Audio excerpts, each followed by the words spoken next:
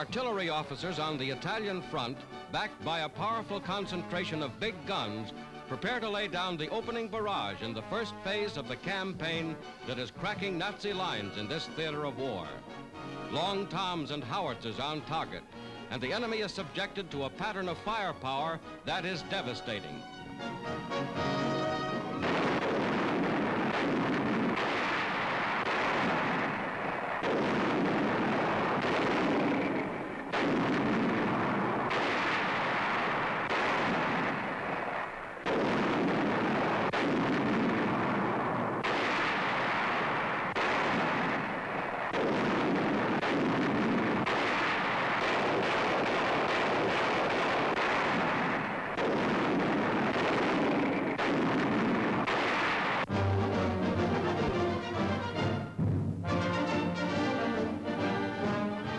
At a camp in North Carolina, Italian soldiers captured in the African and Sicilian campaigns are eager to learn English, for now they are a part of the United States Engineers Corps.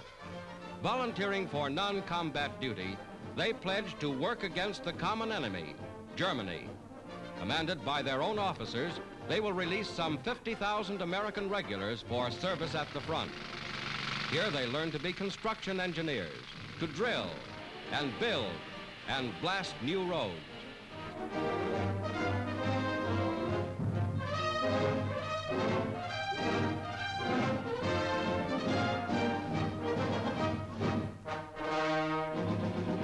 Dressed in regulation U.S. Army uniforms, they wear green brassards and cap patches bearing the word Italy. Welcome volunteers now working in the cause of the United Nations.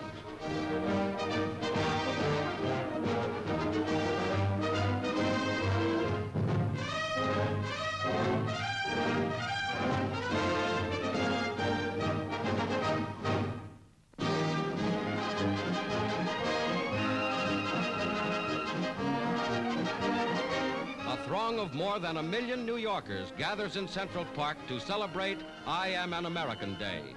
The demonstration is part of nationwide ceremonies held each year to welcome new citizens of the United States.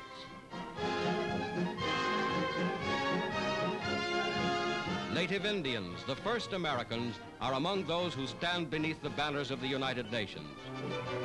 Wounded servicemen are guests of honor as New York's Mayor LaGuardia pays tribute to their heroism.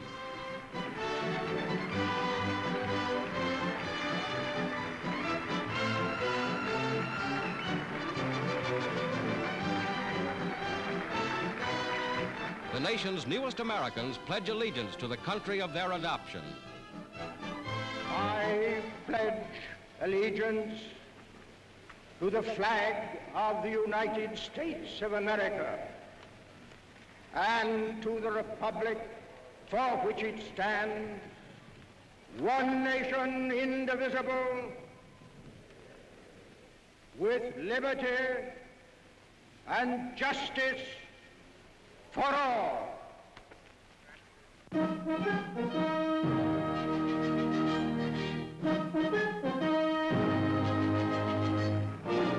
Troops at an American glider assembly field in England have found a practical use for the crates in which their warplanes are shipped.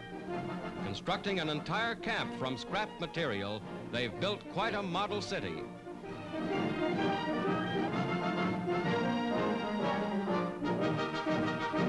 A glider is hauled from its packing case and the Army boys move in, cots and all.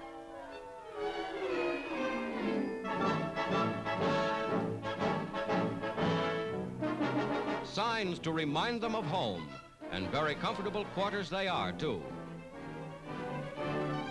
Amateurs build their own radio sets. Specially constructed blinds add the homey touch. There's even a barber shop with special rates for enlisted men. You can't beat the Army man for ingenuity.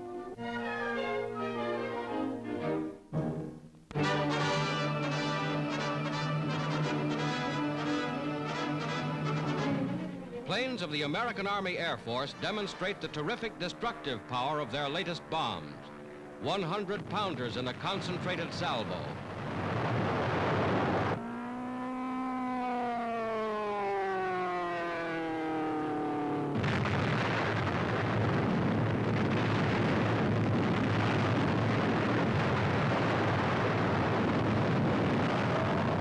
A medium bomber launching an aerial torpedo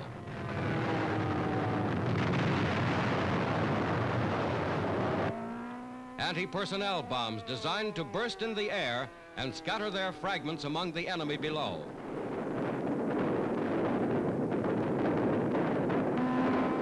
Fighter planes diving to drop auxiliary gasoline tanks, now used as incendiaries.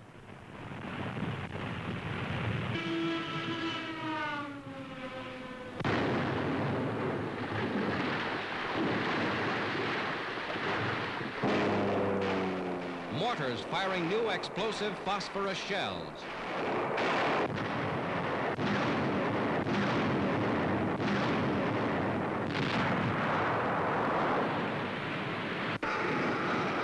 Flamethrowers attacking a tank with equipment more powerful than anything yet devised. Newest weapons of the Army's ground and air forces now in action against the enemy.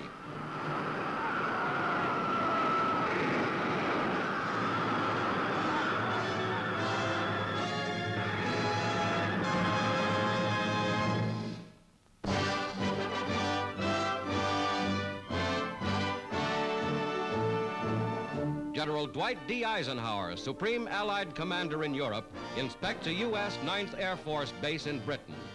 This is one of many Eisenhower tours of his command, checking every branch of the Allied services, seeing for himself that everything is ready for the approaching day.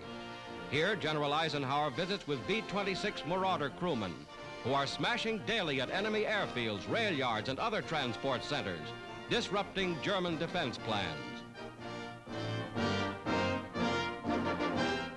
General takes the cockpit of a fighter and tries its guns.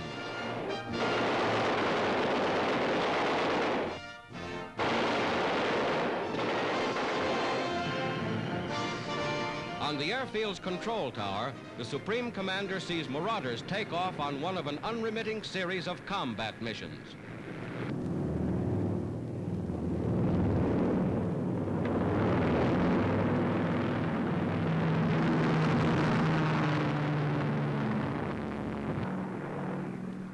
Airborne in precise formation, the Marauders sail high above Europe.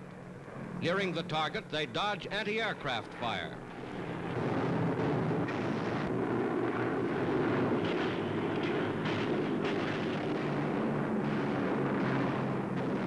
Bombs fall on a Nazi airdrome. These are official Air Force pictures.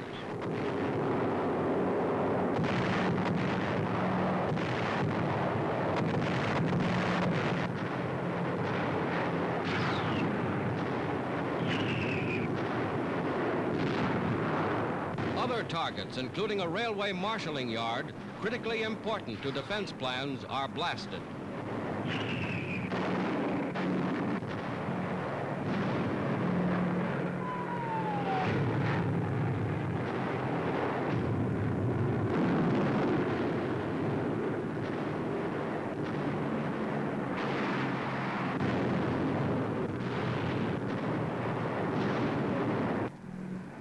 Heading home.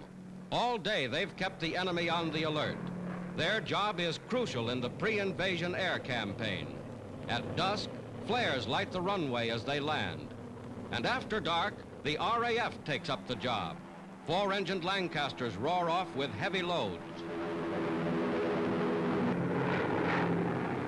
Over a Nazi ammunition dump and stores depot in occupied France, the Lancasters unload. They helped carry the great and crushing Allied air offensive almost completely around the clock. Day after day, night after night, Allied airmen are smashing up the Nazis on all fronts.